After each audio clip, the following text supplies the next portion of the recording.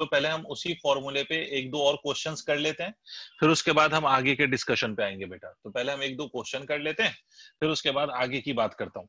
तो बेटा एक दो और क्वेश्चंस कर लो जो कल आपने किया था। आपको याद होगा कि सबसे पहला मैंने बोला था कि सबसे पहले तो आप ऑरिजिन अपना कंसीडर करो with respect to which you will take the coordinates of individual particles ठीक है? और वो ऑरिजिन आप कहाँ पर ले सकते हो? तो you can take the origin at any point of your choice आप किसी को भी अपना ओरिजिन अस्यूम कर सकते हो, ठीक है? और उसके उसके उसके रिस्पेक्ट में you can take the coordinates of different particles ठीक है?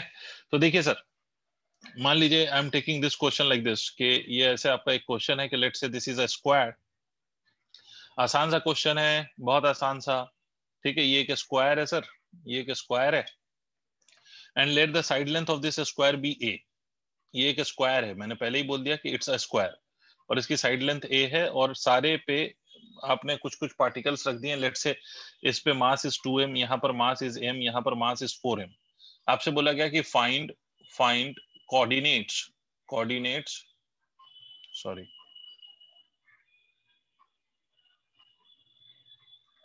coordinates of center of mass of given arrangement of oh particles कर करिए आप कर सकते हैं आप कर सकते हैं बिल्कुल कर सकते हैं करिए sir will it be okay to have today's class yes I have no issue it will be okay for me thank you sir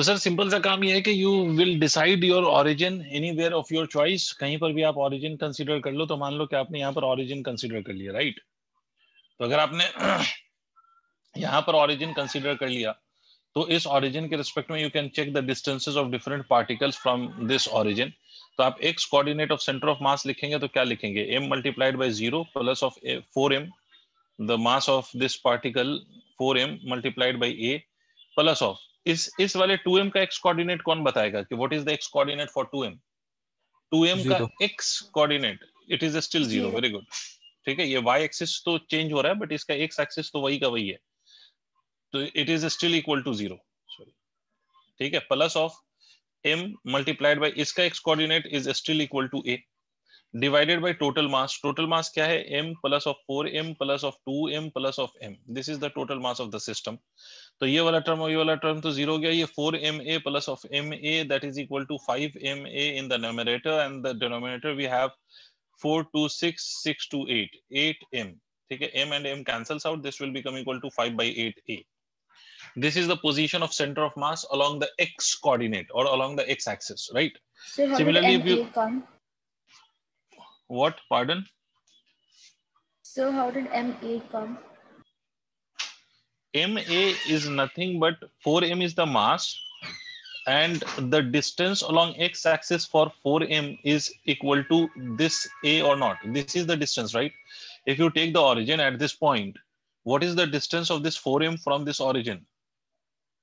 Most I'm asking about the last MA.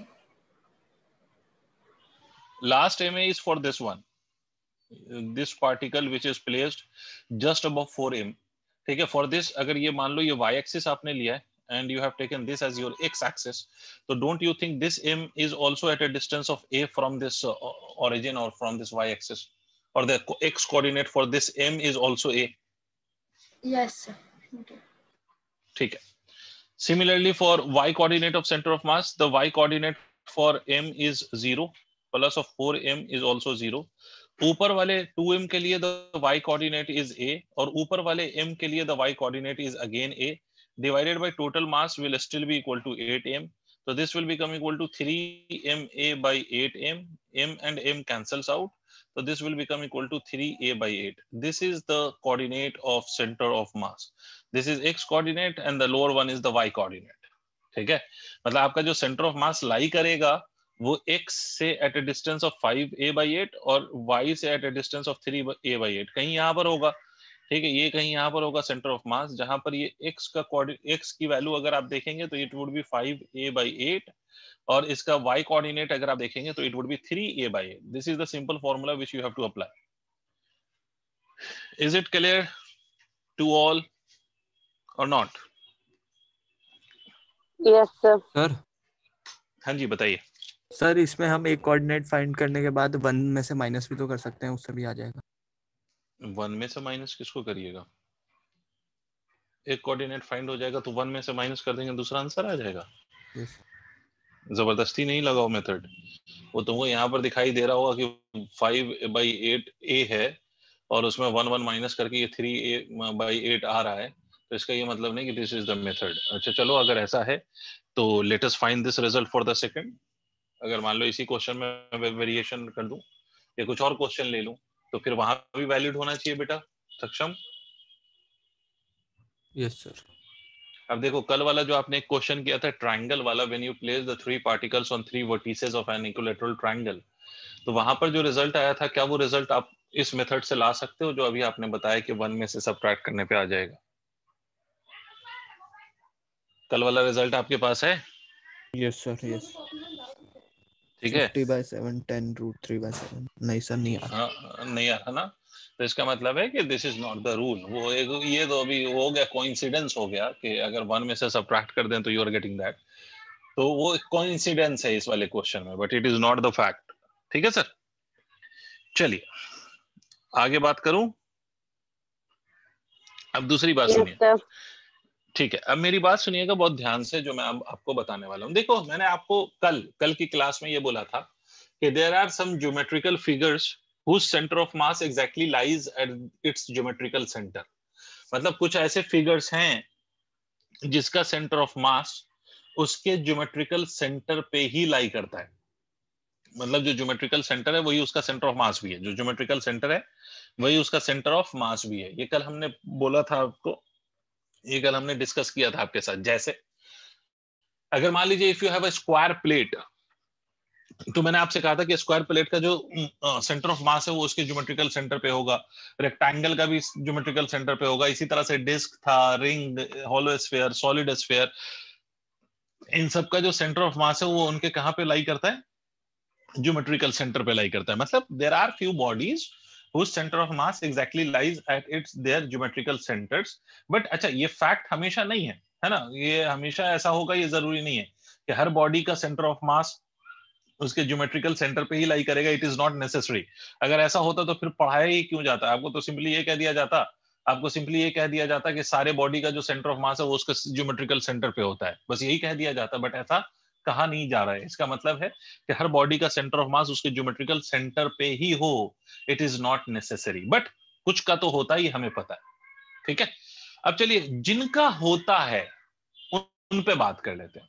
तो अगर मान लो कि आपको कोई ऐसे अरेंजमेंट दे दे ध्यानपूर्वक सुनिएगा जैसे मैं आपसे कहूँ कि मान लीजिए मैं आपसे एक बात कहता हूँ कि मान लीजिए कि एक स्क्वायर है। समझना चीज़ों को। कोई रॉकेट साइंस नहीं है बहुत आसान सी बात है।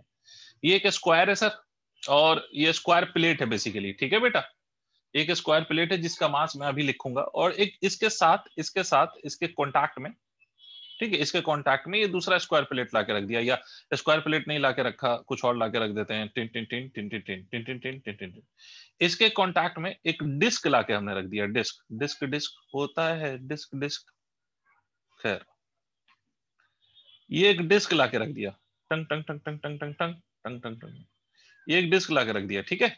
मान सकते हो? ये एक डिस्क है ऐसा। अब देखो ये दोनों ऐसे कॉन्टैक्ट में रखे हुए हैं तो इस दोनों को एज वन सिस्टम ऑब्ज़र्व किया जाए तो इस पूरे सिस्टम का सेंटर ऑफ़ मास होगा या नहीं होगा बेटे? मतलब square and disc taken together as one body तो इसका सेंटर ऑफ़ मास कहीं तो होगा? सर है ना? दो चीज़ें अगर साथ में चिपकी पड़ी हैं और उनको हम एक बॉडी की तरह ट्रीट कर रहे हैं तो इसका सेंटर ऑफ़ मास कहीं तो लाई करेगा। तो क्वेश्चन इज़ कि इसका सेंटर ऑफ़ मास कहाँ पे लाई करेगा? What would be the point at which you will get the center of mass of the combination of a square plate and a disc which are stick together? ठीक है? अब इसमें मैं आपको कुछ चीज़ें लिख देता हूँ। ये जो स्क्वायर मैं अज्यूम कर रहा हूँ, उसका जो लेंथ है let that be a square के जो साइड की लेंथ है ए है। और ये जो हम डिस्क ले रहे हैं डिस्क इसका इसका इसका इसका इसका जो डायमीटर है डायमीटर इज़ ए, इस डिस्क का जो डायमीटर है वो डायमीटर ए है। क्लियर हो गई बात? स्क्वायर का लेंथ ए है और डिस्क का डायमीटर ए है।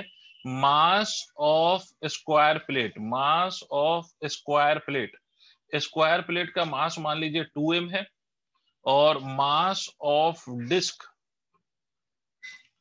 डिस्क का मास मान लीजिए एम है। क्लियर हो गई बात? अब आपसे पूछा है कि find coordinate coordinate of centre of mass of the given combination समझ आ गया? Question is clear to all please respond सबको क्वेश्चन क्लियर है प्लीज़ हाँ ना बोलो। सर एक बार और समझा दो। फिर से सुनो कुछ नहीं है एक स्क्वायर है और दूसरा डिस्क है। दोनों को हमने ऐसे रख दिया है साथ में इकट्ठे। ठीक है? स्क्वायर का सारा आपको गिवन है कि स्क्वायर की लेंथ कितनी है साइड की लेंथ वो ए है। Mass of the square two m है।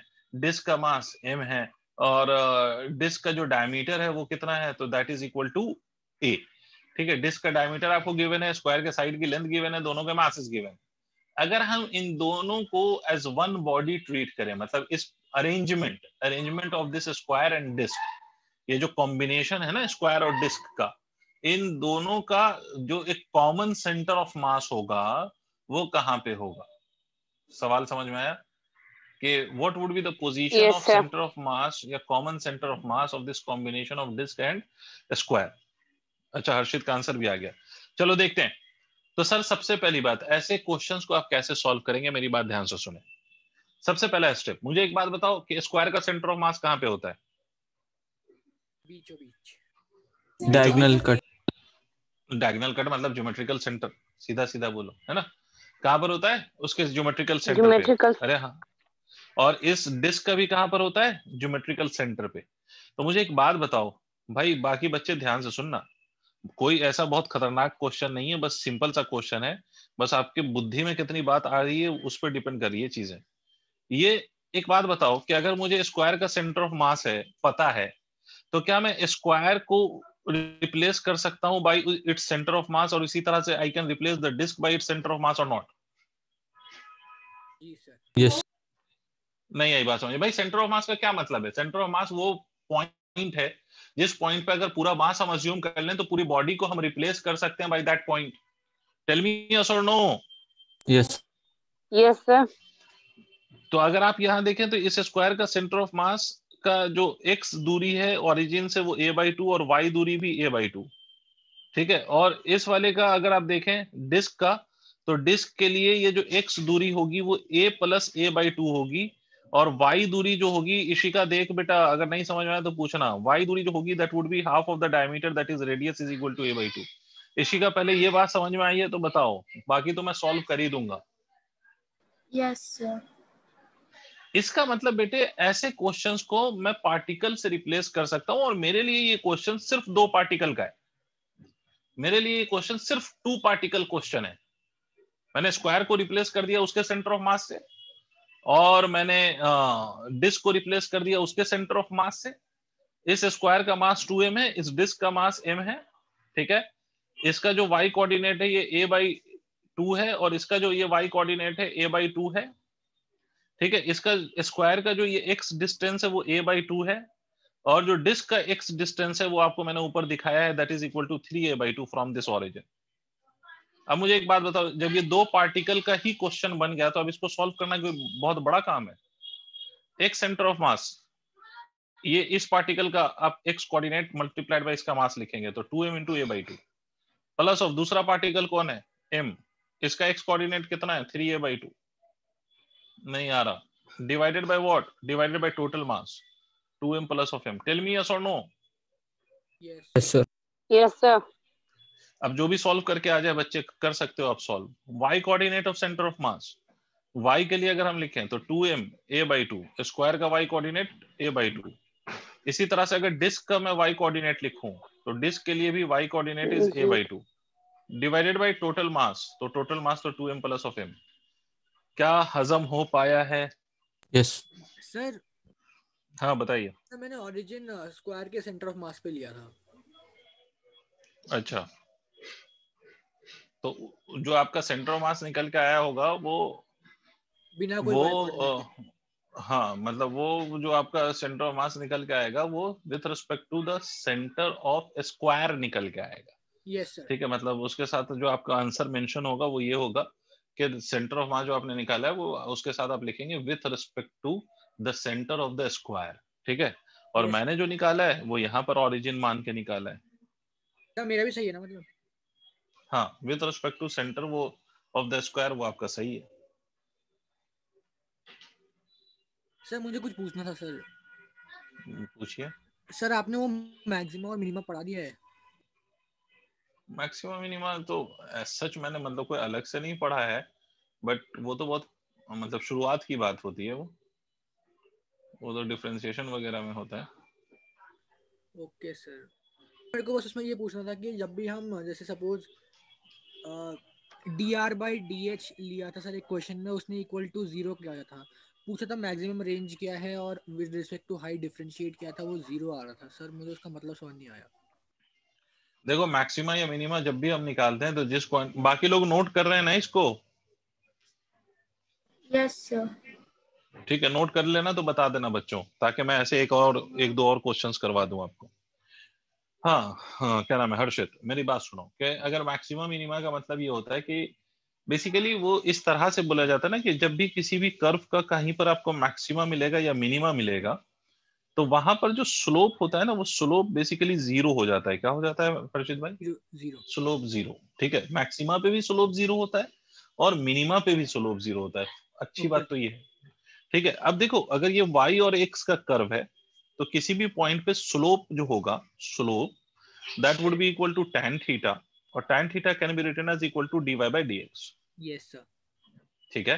तो अगर किसी भी पॉइंट पे स्लोप ज़ीरो हो रहा है तो उसका मतलब है कि या तो उस पॉइंट पे मैक्सिमा मिलेगा या मिनिमा मिलेगा।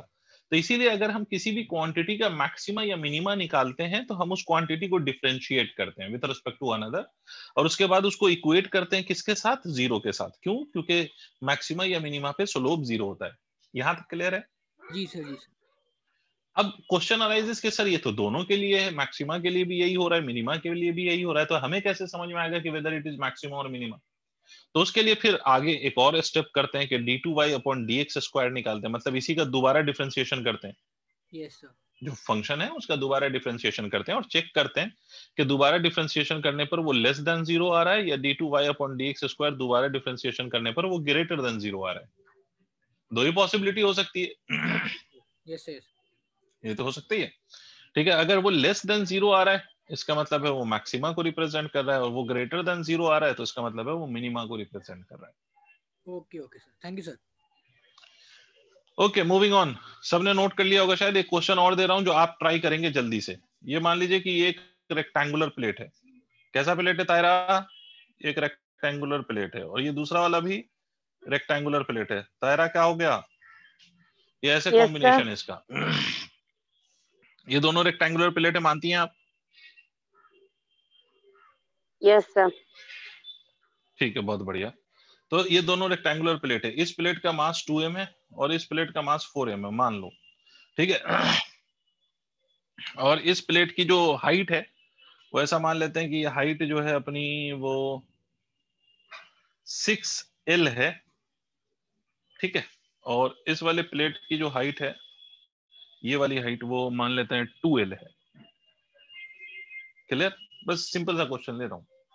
आपको सिंपली बताना है कि इस अरेंजमेंट का y coordinate of centre of mass बताना है। इस अरेंजमेंट का y coordinate of centre of mass बताना है। These are two rectangular plates as shown in the figure आपको simply y coordinate of centre of mass बताना है। You don't have to consider the x coordinate you have just to you just have to find out y coordinate of centre of mass with respect to this as your origin ये नीचे आपको origin लेना है और उसके respect में आपको y coordinate of centre of mass बताना है। क्लियर हो गई बात? मैंने क्वेश्चन में मेंशन कर दिया है कि where to take the origin क्या करेंगे? सबसे पहला स्टेप कौन बताएगा?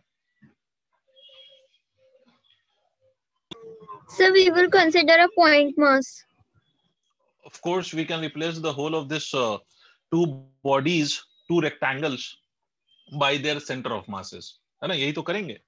इसका मतलब अगर हम ये ये बात सुन लो सारे बच्चे अगर ये रेक्टेंगल है मान लो ये एक रेक्टेंगल है और इसकी लेंथ एल है तो इसका सेंटर ऑफ़ मास कहाँ पर होगा? इसका सेंटर ऑफ़ मास बिल्कुल उसके ज्योमेट्रिकल सेंटर पे होगा। यही तो हमने पढ़ा है कि if you have a square और रेक्टेंगल तो उसका जो सेंटर ऑफ़ मास होता है, वो उसके ज्योमेट्रिकल सेंटर पे लाई करता है।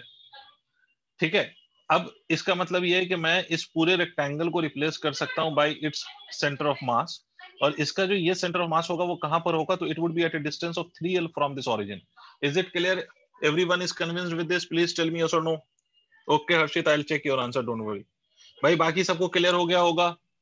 इसी तरह से इस वाले रेक्टेंगल का अगर हम सेंटर ऑफ़ मास देखें तो यहाँ से Yes, ज्योमेट्रिकल सेंटर है ना? ये ज्योमेट्रिकल सेंटर की हाइट कितनी होगी? ये एल होगी। ठीक है? तो अब मेरे लिए जो क्वेश्चन है वो सिर्फ़ दो पार्टिकल का क्वेश्चन है। This question is of two particles two particle system question for me जिसका यहाँ एक्स एक्सिस मान लो और ये वाई एक्सिस है अपनी है ना? ये वाई एक्सिस है आपकी। ठीक है?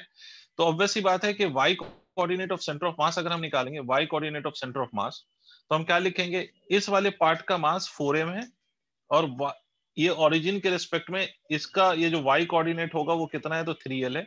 इसका मतलब 3l प्लस ऑफ़ इसी तरह से दूसरा वाला पार्ट उसका मास कितना है? 2m है।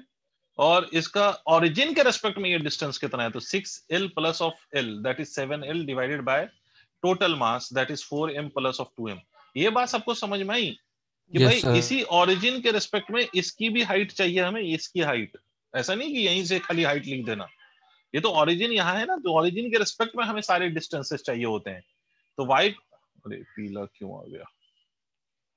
तो y coordinate of centre of mass अगर हम निकालेंगे तो ये हो जाएगा चार तीन बारह m l plus of fourteen m l divided by six m तो y coordinate of centre of mass is equal to बारह और fourteen twenty six twenty six times of m l divided by six times of m ये ये cancel हो गया तो ये thirteen by three l yes thirteen by three l is the right answer जो भी आया फाइनली मेरे पास अभी। सक्षम का भी आंसर बिल्कुल सही है thirteen by three l very good Saksham, बाकी लोगों, तुम्हें समझ में आया या नहीं आया प्लीज़ बोलो। एक और ऐसा क्वेश्चन करवाऊँगा, फिर आगे बात करूँगा। यस सर आ गया। ठीक है, एक और ऐसा क्वेश्चन दे रहा हूँ जो which is given in in C R T as your example problem based on this concept only ठीक है तो वो क्वेश्चन आप ट्राई करेंगे, उसके बाद फिर हम आगे के कॉन्सेप्ट पर डिस्कशन करेंगे। तो जल्दी करिए।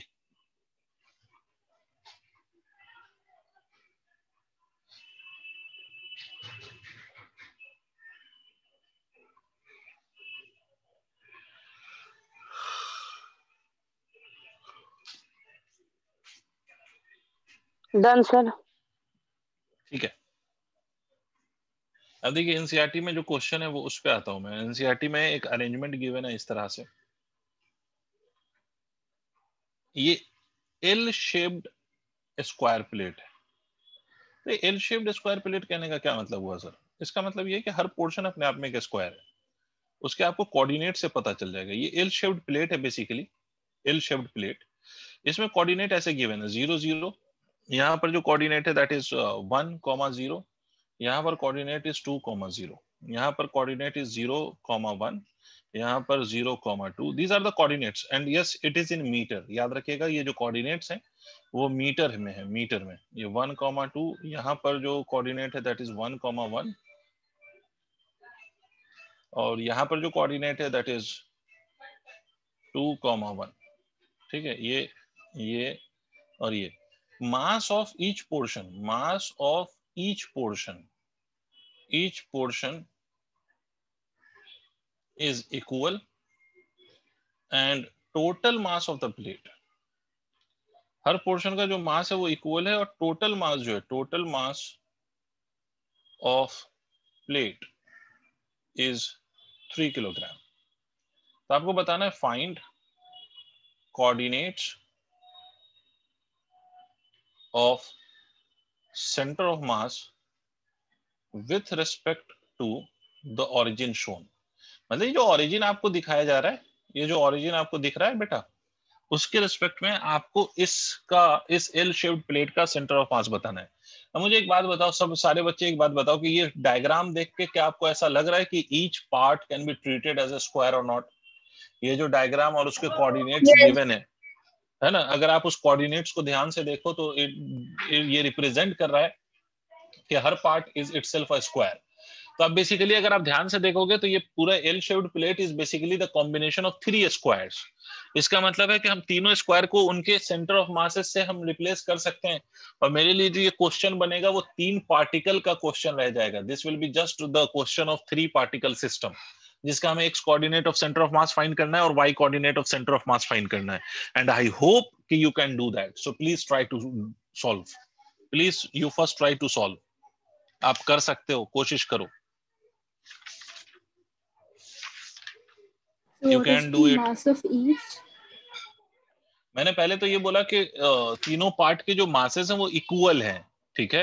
और टोटल मास थ्री किलोग्राम है। इसका मतलब क्या हुआ कि हर पार्ट का मास कितना है? One किलोग्राम सिंपल सी बात है it is one kilogram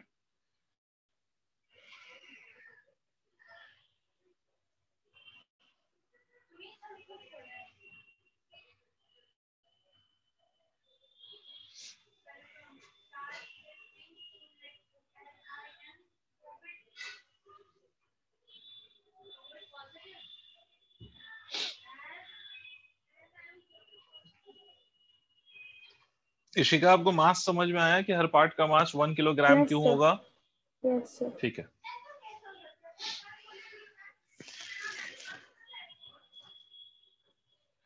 This is this question is question of three particle system only. तो इसलिए बहुत ज़्यादा दिमाग लगाने की ज़रूरत नहीं है। तीन ही पार्टिकल सिस्टम का क्वेश्चन है। M one x one m plus m two y two x two plus of m three x three divided by m one plus m two plus m three इसी तरह से Y coordinate में भी लगाना है तो देखते हैं कितने से हो जाता है ये।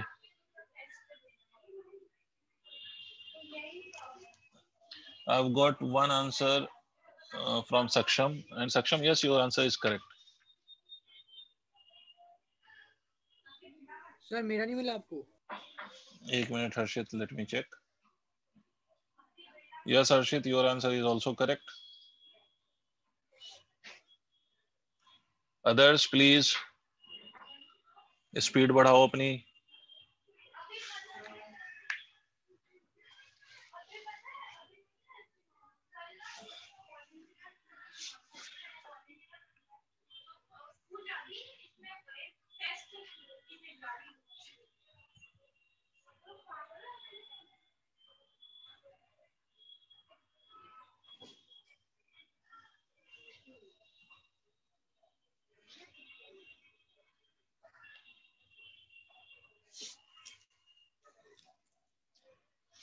Sir.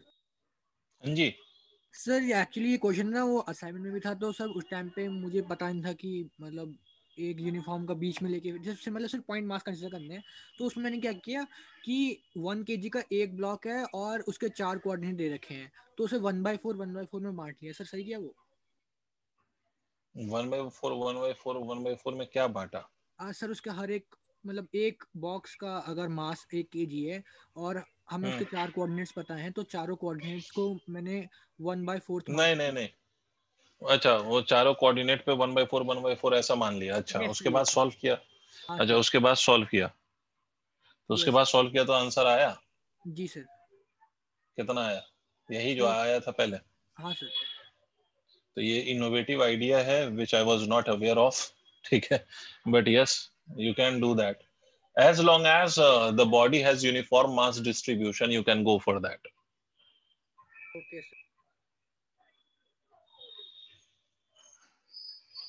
okay ishika your simplification i think is uh, wrong right okay uh, your answer is not correct uh, ishika so you are making some mistake with your simplification part or in assuming the coordinates तो देखो बाकी लोग मेरी बात सुनो आप ध्यान से पहली बात, इस स्क्वायर का सेंटर ऑफ़ मास इसके ज्योमेट्रिकल सेंटर पर, इस स्क्वायर का इसके ज्योमेट्रिकल सेंटर पर और इस स्क्वायर का इसके ज्योमेट्रिकल सेंटर पर।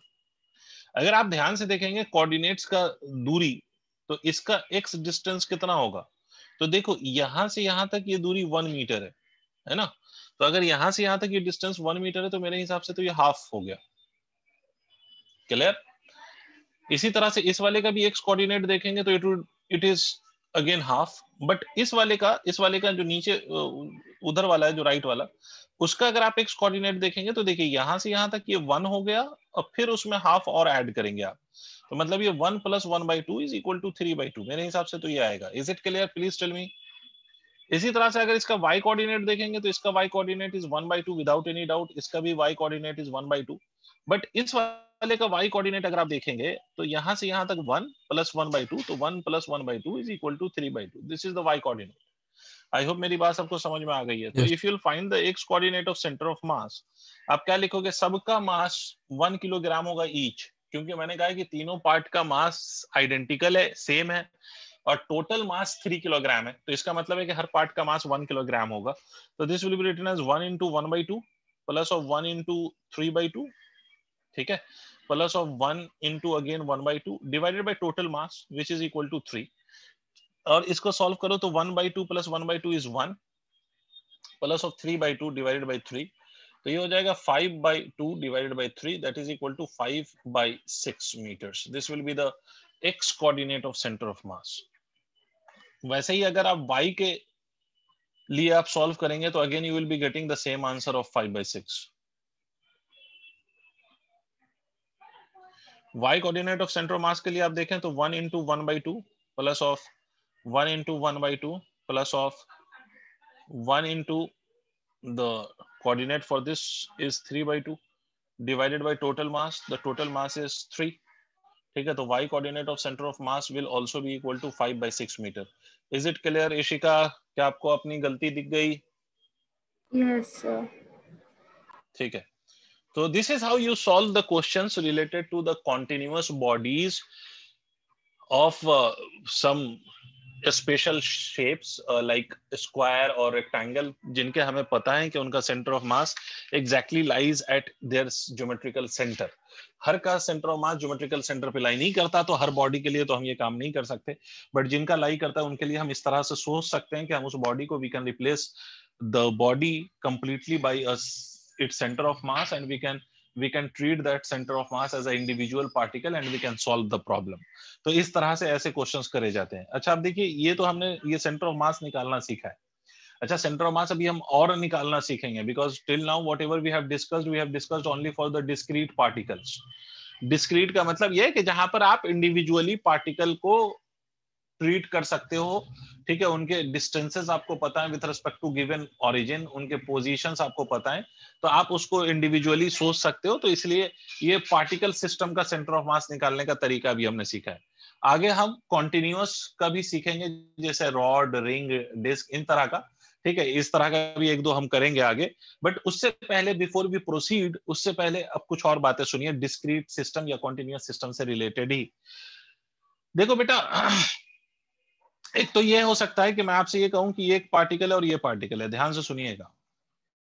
मान लो कि इसका मास फोर किलोग्राम है और इसका मास टू किलोग्राम है, ये दो पार्टिकल्स हैं और ये दोनों पार्टिकल रेस्ट में है। ठीक है तो ऑब्वियसली बात है कि इसकी वेलोसिटी भी ज़ीरो होगी। तो इसकी वेलोसिटी भी ज़ीरो होगी। तो इसका जो सेंटर ऑफ़ मास कहीं पर होगा, कहीं पर, और ऑब्वियसली आपको कल पता चला था कि centre of mass lies near the heavier particle तो इसका जो सेंटर ऑफ़ मास होगा उसकी भी वेलोसिटी ज़ीरो होगी। सर कुछ तो बोलो। भाई यस अगर इंडिविजुअली पार्टिकल्स की वेलोसिटी ज़ीरो है तो उसका जो सेंटर ऑफ़ मास है वो भी तो रुका हुआ होगा उसकी भी तो वेलोसिटी ज़ीरो होगी।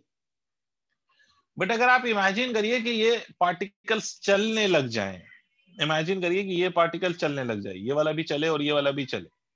ये कुछ वेलोसिटी से चले मान लो टू मीटर पर सेकंड से और ये भी कुछ वेलोसिटी से चले कुछ फोर मीटर पर सेकंड से। तो इसका सेंटर ऑफ़ मास यहीं पे रुका रहेगा या ये भी चलने लग जाएगा? चलने लग जाएगा।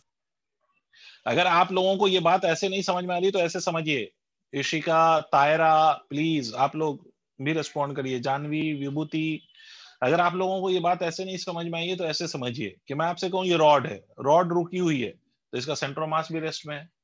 अगर मैं आपसे कहूँ कि रॉड मूव करने लग गई with a velocity of 10 metre per second तो इसका सेंटर ऑफ़ मास भी मूव करने लगेगा या नहीं करने लगेगा?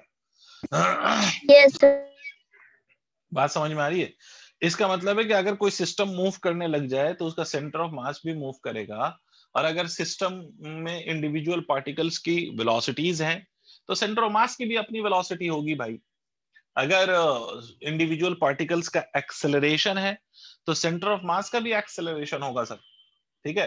तो बेसिकली बात यह है बेटा कि if system is at rest तो velocity of particles is zero and centre of mass is also at rest if system is in motion system कोई सा भी हो सकता है चाहे वो डिस्क्रीट uh, हो या कॉन्टिन्यूस बॉडीज हो कुछ भी हो उससे कोई फ़र्क नहीं पड़ता। तो if you have a system and that system has some motion तो इन दैट केस आपका जो सेंटर ऑफ़ मास है that will also have motion that will also be having some velocity and that will also be having some acceleration तो अब question arises कि हम उसकी velocity centre of mass की या एक्सेलरेशन कैसे निकालेंगे? देखो, एक बात समझो। सर, ये ज़रूरी नहीं है कि सारे पार्टिकल सेम वेलोसिटी से ही मूव करें। सोच के देखो। भाई, अगर मैं मान लो कि मैं आपसे कहता हूँ पार्टिकल है, मैं चार, दो पार्टिकल ऑब्ज़र्व कर रहा हूँ। ठीक है, मान लो मान लो ये एक पार्टिकल है और ये पार्टिकल है, ये दो पार्टिकल को मैं एक साथ ऑब्ज़र्व कर रहा हूँ। समझ रहे हैं आप? और ये वाला जो पार्टिकल है ये इधर जा रहा है टेन मीटर पर सेकंड से और ये जो पीछे वाला पार्टिकल ये जा रहा है फोर मीटर पर सेकंड से। तो दोनों की वेलोसिटी सेम तो नहीं है बेटे? ये बेटे।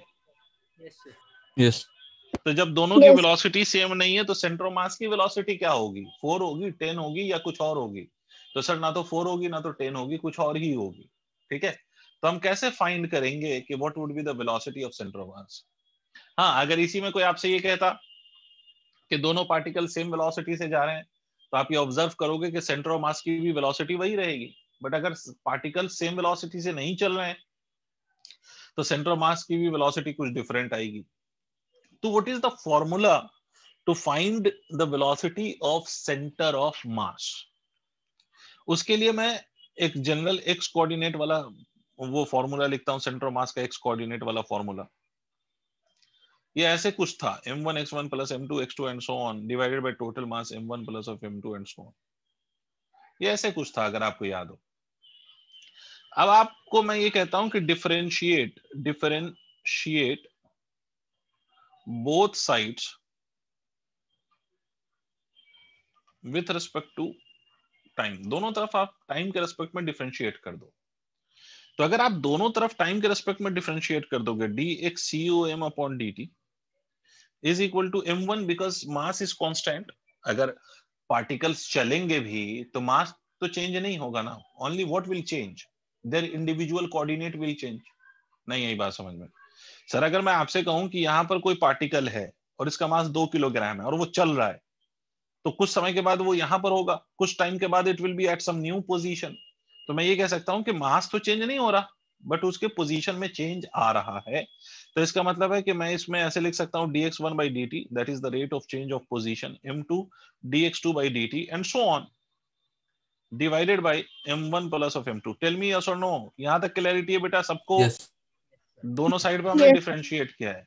और डिफरेंशिएट हम सिर्फ़ x को क्यों कर रहे हैं? बिकॉज़ ओनली द x या coordinates is changing mass is not changing that is why we are differentiating only the coordinates अब मुझे कौन बताएगा कि rate of change of position with respect to time क्या होता है?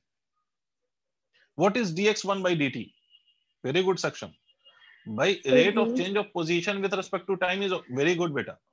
That is simply equal to v. That is the velocity तो इसका मतलब क्या हुआ बच्चों? इसका मतलब ये हुआ कि the velocity of centre of mass अच्छा because I have differentiated x coordinates only तो इसका मतलब है कि this will be called as velocity of centre of mass along x axis इसी तरह से अगर y y डायरेक्शन में भी वेलोसिटी हो तो उसके लिए भी हम ऐसे ही लिखेंगे। ये मैं x के वाला लिख रहा हूँ कि m1 v1 कौन सा वेलोसिटी x एक्सिस का अलोंग मतलब जनरल फॉर्मूला तो यही है कि m1 v1 plus m2 v2 plus m3 v3 अगर वेलोसिटी x एक्सिस के अलॉन्ग भी है, y के अलोंग भी है तो ये फॉर्मूला x के अलोंग इंडिविजुअली लिखा जाएगा। वाई के अलोंग इंडिविजुअली लिखा जाएगा भी मैं बता देता हूँ कैसे। And so on divided by total marks this will give you the velocities along x axis मतलब velocity of center of mass along x axis अगर मान लो यही वेलोसिटी y एक्सिस के along भी होगी तो x की जगह हम क्या लगा देंगे? y? नहीं आ रही बात समझ। ये नोट करो बेटा. ये नोट करो बच्चे।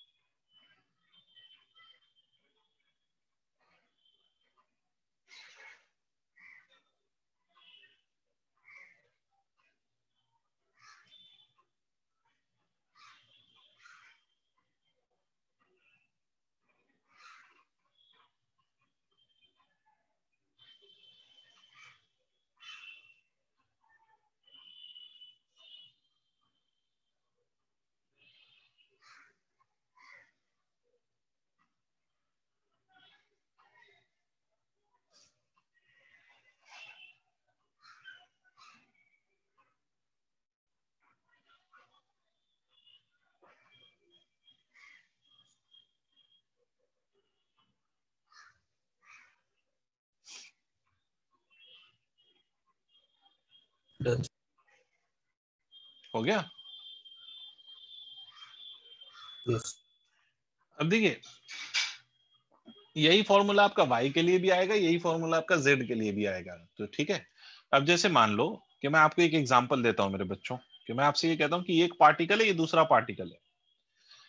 ये वही फिर से टाइम पास मान लेते हैं टू किलोग्राम का फोर किलोग्राम का let this be going with velocity some velocity of eight metre per second and this is going with velocity of let say six metre per second ठीक है both are going in the same direction तो अब आपको बोला जाए कि velocity of centre of mass बताइए। Velocity of centre of mass क्या होगा? तो पहली बात ये जो दोनों पार्टिकल्स हैं are they having their velocities along both और all the three coordinate axes or only along one coordinate axis which is x axis? One.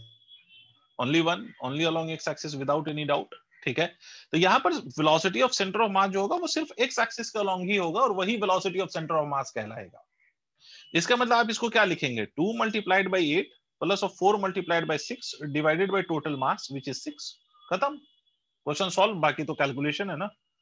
कि 16 plus of 24 divided by 6 that is equal to 40 by 6 that is equal to 20 by 3 metre per second. Is it clear बेटा? हाना बोलना पड़ेगा।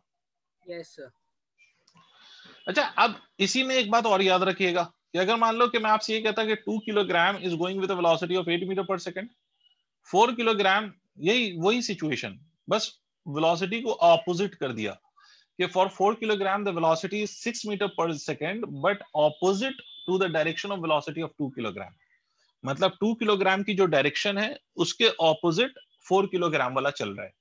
तो अब अगर इसमें velocity of centre mass निकालेंगे तो आप क्या करेंगे? Because the velocities are oppositely directed तो अगर आप एक को पॉजिटिव मानेंगे तो दूसरे को you will have to consider it as negative फिर से सुन लो।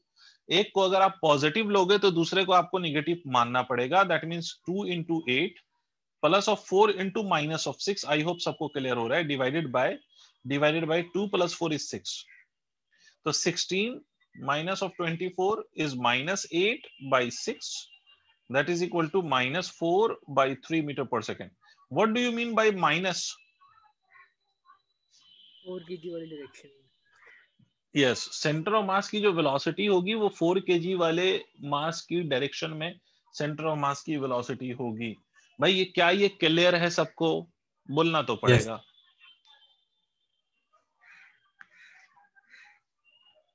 Yes, यस yes, सर ठीक है इसको नोट कर लो आगे बढ़ते हैं।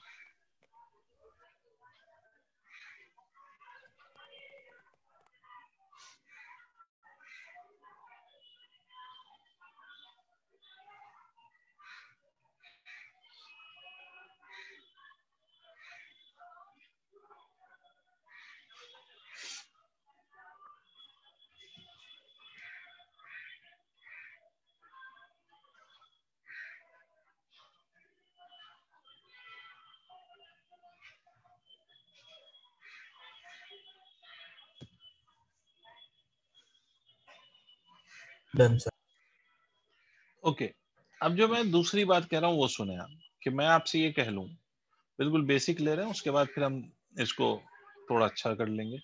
अभी तक बेसिक सा क्वेश्चन ले रहे हैं कि मान लीजिए मैं आपसे ये कहता हूँ कि this is velocity 10 metre per second for a particle of 2 kilogram and this velocity is at an angle of 37 degree ठीक है सर और दूसरा वाला पार्टिकल भी इसी डायरेक्शन में मैं चला रहा हूँ। this is going with velocity of let's say 6 root 2 metre per second and this is going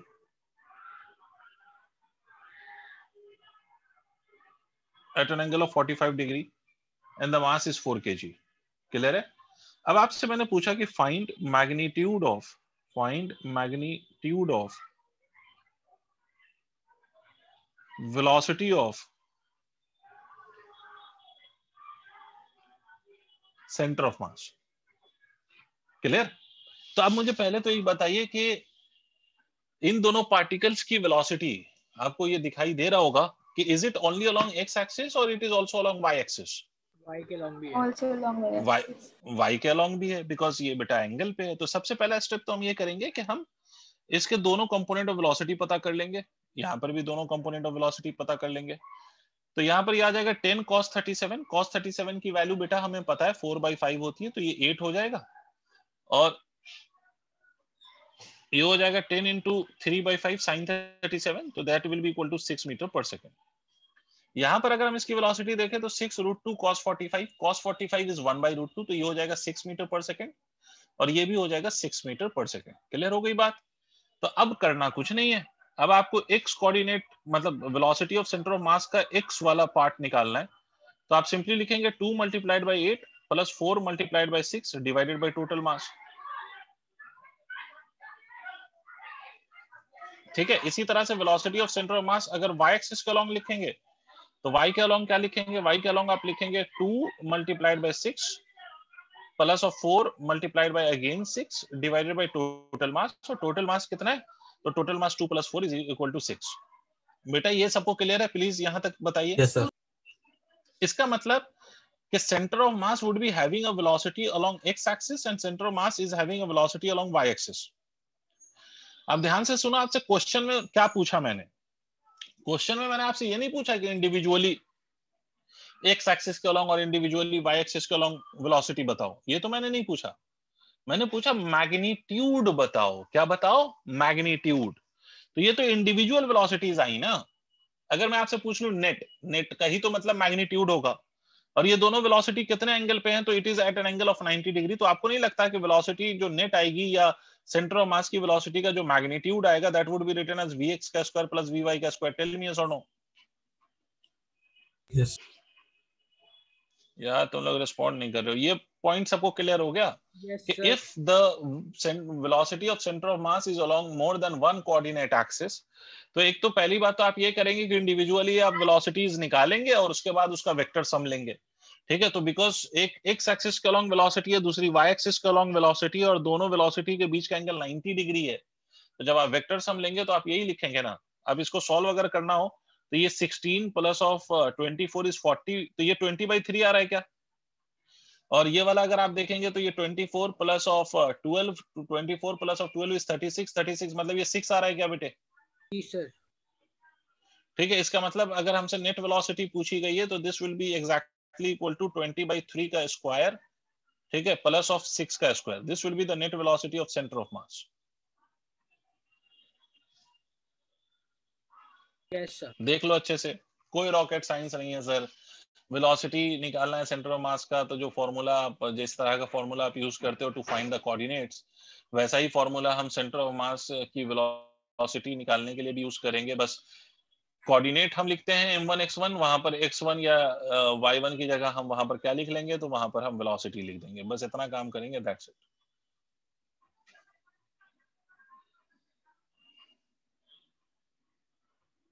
हो गया? Yes.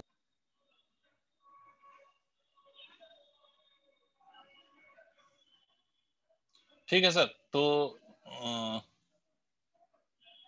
ये special request by one of the student उसके वजह से आज की क्लास यहीं हम खत्म करते हैं।